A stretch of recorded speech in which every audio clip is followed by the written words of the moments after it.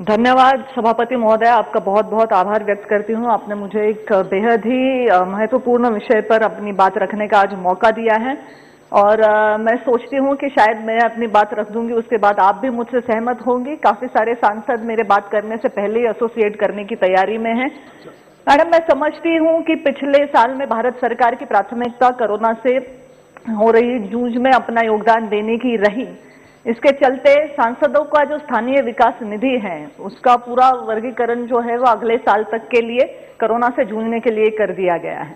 पर लोग जिस उम्मीद से, जिस भरोसे से हमको चुन के देते हैं तो हमसे कुछ उम्मीदें भी रखते हैं। हमें महाराष्ट्र सरकार जो फ़िलहाल अभी है, राज्य में सरकार, हमारी तो महाराष्ट्र के सांसदों की तो इतनी दुर्गत हो गई है, मैडम। कि हमारे कार्यकाल में जो काम मंजूर होके आए थे, फ़िलहाल जो सरकार है, वो वही काम रद्द करे जा रही है।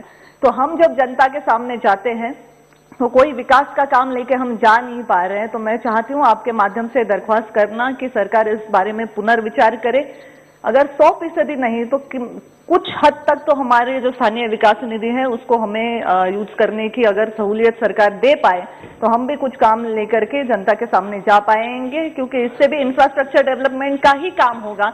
मुझे लगता है कि आज मौजूद सारे सांसद मुझसे रिलेट कर पाएँगे।